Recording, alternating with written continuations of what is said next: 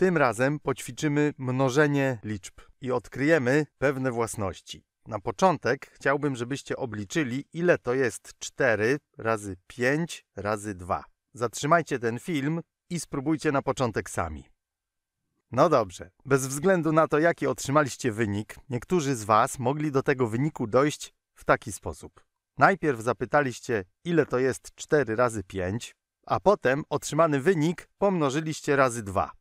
Czyli to, co naprawdę zrobiliście, wyglądało tak. 4 razy 5 pomnożyliście najpierw, dlatego wziąłem to działanie w nawiasy, a potem to, co otrzymaliście, pomnożyliście razy 2. Ile to będzie? Pierwsza część, czyli 4 razy 5, to oczywiście 20. Teraz mnożymy to razy 2 i otrzymujemy 40. I oczywiście jest to poprawny wynik. 4 razy 5 razy 2 rzeczywiście równa się 40. Teraz chciałbym, żebyście najszybciej jak potraficie obliczyli, ile to jest 5 razy 2 razy 4. Zatrzymujecie film i jak najszybciej liczycie. Ok, część z Was pewnie spróbowała, całkiem możliwe, że w podobny sposób jak poprzednio. Czyli najpierw obliczyliście, ile to jest 5 razy 2 i otrzymaliście wynik 10. I jeżeli teraz to pomnożymy razy 4, to otrzymamy identyczny wynik jak w poprzednim przypadku. O co tutaj chodzi? Czy tu się nie dzieje przypadkiem coś bardzo ciekawego? Możliwe, że już zorientowaliście się, że w obydwu przypadkach mnożymy te same trzy liczby.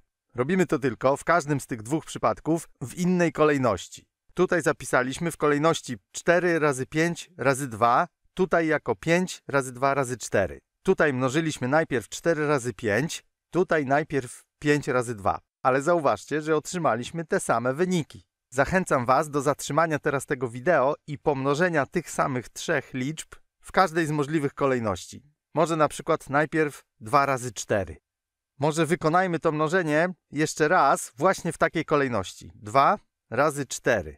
I to pomnożymy razy 5. Jaki będzie wynik tego działania? 8. 2 razy 4 to 8 i to mnożymy razy 5. I znowu otrzymujemy 40.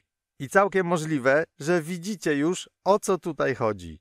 Chodzi o to, że nie ma żadnego znaczenia, w jakiej kolejności mnożymy liczby. Możemy na przykład zapisać 4 razy 5 razy 2, pomnożymy wtedy najpierw 4 razy 5, a potem razy 2, ale możemy zapisać 4 razy 5 razy 2 i najpierw pomnożyć 5 razy 2. I rzeczywiście nie ma to znaczenia, w jakiej kolejności te trzy liczby pomnożymy. W każdym przypadku otrzymamy 40. Istnieje specjalna nazwa tej własności. Nazywa się to zjawisko własność łączności, mnożenia. Ale nazwa to nazwa, a najważniejsze jest to, żeby wiedzieć o co tutaj chodzi. A tak w ogóle to nie dotyczy to tylko mnożenia trzech liczb. Jeżeli chcemy pomnożyć dwie liczby, to kolejność ich mnożenia też nie ma znaczenia. Jeżeli chcemy pomnożyć cztery liczby, albo pięć, albo właściwie dowolnie dużo liczb, na przykład tysiąc, to nie ma znaczenia w jakiej kolejności to robimy. Jak łączymy te liczby w trakcie mnożenia w pary. Tutaj najpierw połączyliśmy w jedną parę 4 i 5, tu też najpierw 4 i 5, a tutaj w pierwszą parę połączyliśmy 5 i 2. I w każdym z tych przypadków otrzymaliśmy ten sam wynik. Zachęcam Was, za chwilę, kiedy ten film się skończy, żebyście spróbowali powymyślać własne przykłady mnożenia i zastanowili się jednocześnie, intuicyjnie, dlaczego mnożenie tak właśnie działa. To dobrze, że tak działa, bo to upraszcza życie, kiedy zajmujemy się matematyką. Upraszcza na wielu różnych płaszczyznach i na każdym etapie nauki matematyki.